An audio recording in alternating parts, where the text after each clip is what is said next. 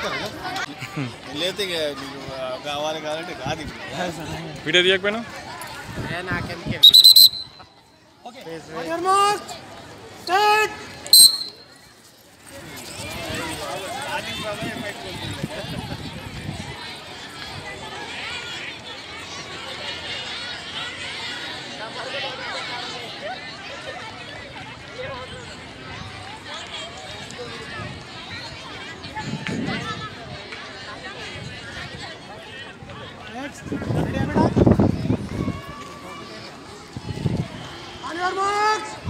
Take!